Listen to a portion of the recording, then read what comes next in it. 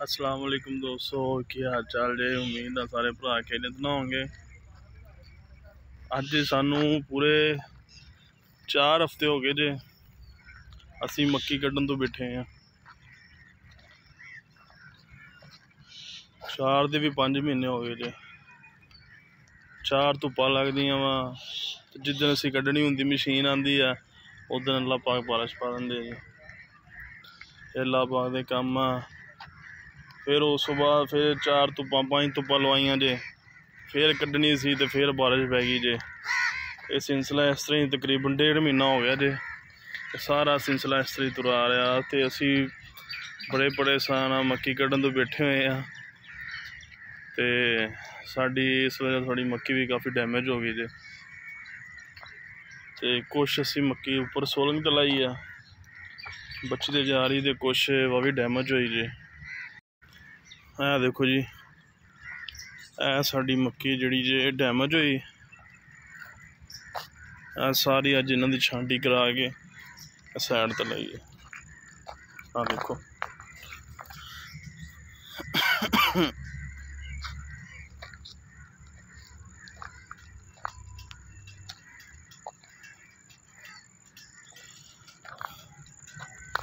ਇਹ ਵੀ ਡੈਮੇਜ ਹੋਈ ਆ। ਇਹ ਅਸੀਂ ਕਵਰ ਕਰ ਲਈ ਜੇ।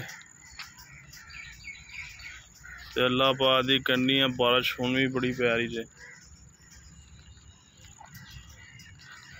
ਘਰ ਵਾਲੀ ਸਾਈਡ ਤੇ ਬਹੁਤ ਪੈ ਰਹੀ ਹੈ ਇੱਥੇ ਹਲੇ ਘੱਟ ਆ।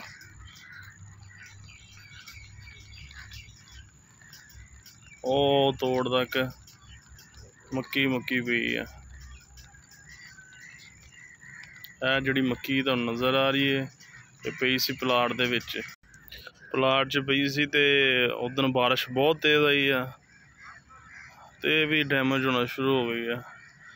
ਇੱਥੋਂ ਕੱਢ ਕੇ ਅਸੀਂ ਉੱਪਰ ਲਾਈ ਆ ਤੇ ਫਿਰ ਬਾਰਿਸ਼ ਸ਼ੁਰੂ ਹੋ ਗਈ ਆ।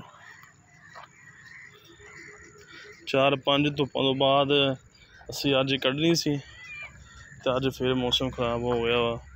ਮਸ਼ੀਨ ਨੂੰ ਵਾਪਸ ਭੇਜਿਆ ਵਾ। ਹੁਣ ਤੁਸੀਂ ਦੱਸੋ, ਅੱਲਾਹ ਤਾਲਾ ਦੀ ਕੁਦਰਤ ਅੱਗੇ ਕੋਈ ਸ਼ੈ ਨਹੀਂ ਹੈਗਾ, ਸਾਰਾ ਕੁਝ ਬੇਬਸ ਆ। ਅਸੀਂ ਤਕਰੀਬਨ ਡੇਢ ਮਹੀਨਾ ਹੋ ਗਿਆ ਜੇ, ਇਸੇ ਤਰ੍ਹਾਂ ਹੀ। ਜਿੱਦਣ ਅਸੀਂ ਕੱਢਣੀ ਹੁੰਦੀ ਆ ਉਦੋਂ ਬਾਰਿਸ਼ ਆ ਜਾਂਦੀ ਚੰਗੀ ਭਲੀ। ਇਹ ਦੇਖੋ, ਹੁਣ ਵੀ ਬਾਰਿਸ਼ ਪੈ ਰਹੀ ਹੈ ਹਲਕੀ ਹਲਕੀ ਇਹ ਇਹ ਜਿਹੜੀ ਮੱਕੀ ਹੈ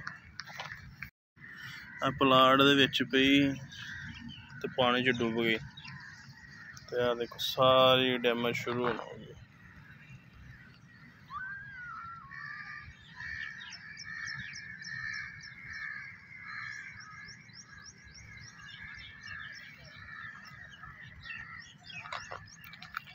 ਇਹ ਜੀ ਅੱਲਾਹ ਪਾਕ ਦੇ ਕੰਮ ਆ।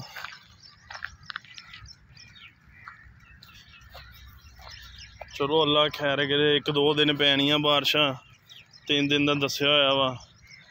ਤੇ ਅੱਲਾ ਖੈਰ ਕਰੇ, ਫਿਰ ਤਿੰਨ ਚਾਰ ਧੁੱਪਾਂ ਲਵਾਵਾਂਗੇ। ਤੇ ਇਹਨੂੰ ਹੁਣ ਕੱਢ ਕੇ ਨਾ ਤੇ ਪਰੇ ਗਈਏ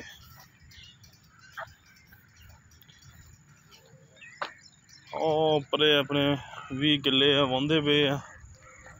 ਤੇ ਉੱਥੇ ਫਿਰ ਆਪਾਂ ਇਨਸ਼ਾਅੱਲਾ ਮੱਕੀ ਕੱਢਣੀ ਆ।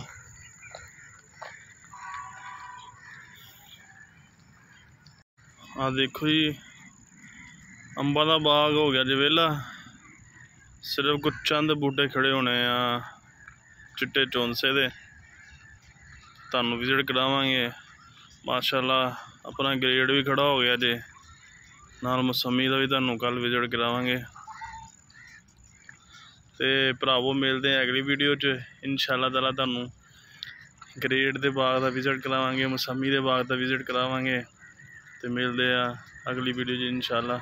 ਰੱਬ ਰਾਖਾ।